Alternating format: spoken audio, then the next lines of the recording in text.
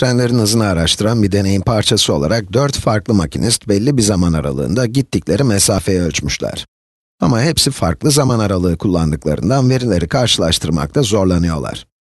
Aşağıdaki bilgilere göre deney esnasında, deney sırasında 4 trenin de aynı hızda hareket edip etmediğini bulunuz. Trenlerin hızını araştıran bir deney yapılıyor. 4 farklı makinist belli bir zaman aralığında gittikleri mesafeyi ölçüyorlar.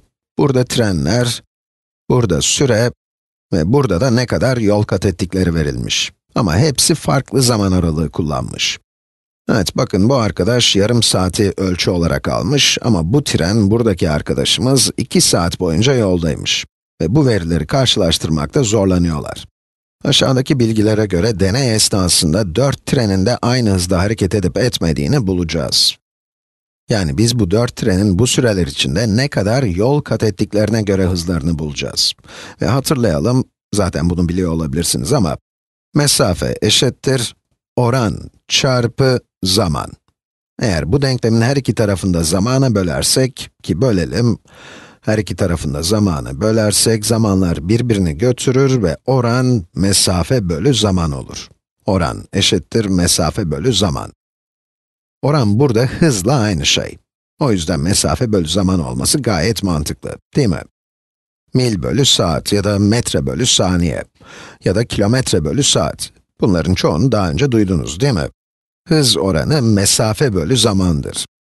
Öyleyse bu formülü kullanabiliriz. Yani her bir trenin kat ettiği mesafeyi zamana bölersek hızlarının ne kadar olduğunu bulabiliriz. Evet, hadi yapalım. Hızlarını yazalım. Trenlerin hızları için başka bir sütun daha yapalım. İlk trene bakalım. Yarım saat 0,5 saat içinde 27,5 kilometre gitmiş. O halde mesafeyi zamana bölelim. 27,5 bölü 0,5 saat. Bir şeyi yarıma bölmek, 0,5'e bölmek 2 ile çarpmakla aynıdır. 27,5 çarpı 2. 27,5 çarpı 2 kaç eder? 55 kilometre bölü saat. Yani tren 1'in, birinci trenin hızı saatte 55 kilometre. Peki ya bu tren? Aslında çok açık. Bir saatte tam olarak 55 kilometre gitmiş. Zamanı bölünmüş mesafe 55 kilometre. Bunu hesaplamak kolay oldu. Bu tren saatte 55 kilometre hız yapmış. İsterseniz bunu da formüle koyalım. 55 kilometre mesafe değil mi? Süre ise 1 saat. 55 bölü 1, saatte 55 kilometre. Bu tren ise 82,5 kilometreyi 1,5 saatte gitmiş. Formülde yerlerine koyalım. 1,5 saatte 82,5 kilometre gitmiş. Evet, işlemi yapalım.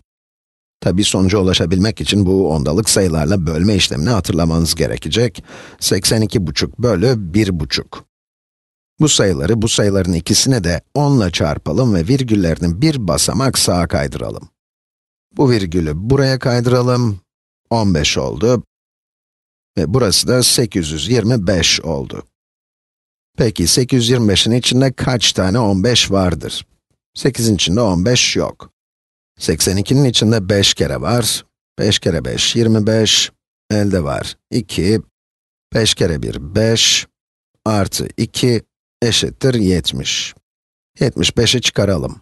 82 eksi 75. Sadece 7 değil mi? Sonra bu 5'i aşağı indirelim. 75'te 15, 5 kere var. 5 kere 15 eşittir 75. Çıkardık, kalanımız yok. Yani bir buçuk saatte 82,5 kilometre, saatte 55 kilometre ediyormuş. Ve son olarak 2 saatte 110 kilometre gidiyorsa, 110'u 2'ye böleriz ve 55 eder. Yani deney sırasında gerçekten bütün trenler aynı hızdalarmış.